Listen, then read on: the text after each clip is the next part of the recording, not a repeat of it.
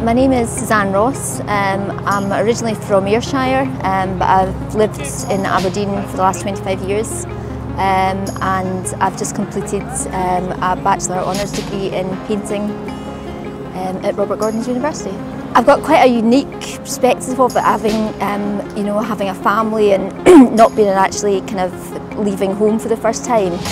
But the the culture within Grays at uh, RGU is great because it's so friendly, open, teaching staff, you know, it's, it's, it's basically about exploration, about helping people and, you know, just learning, you know, and it's, it's, it's been so much fun. It's just, I've thoroughly enjoyed it. The studio culture within Grays is really good because you are constantly being helped and exposed to different things. Um, throughout the, your time at Grays um, and you just learn things and get different resources from many things that you wouldn't expect. Um, I've just recently got a studio with a, um, a friend um, so hopefully just continue to um, my practice and evolve and I've got a couple of exhibitions coming up so fingers crossed just keep working, creating work.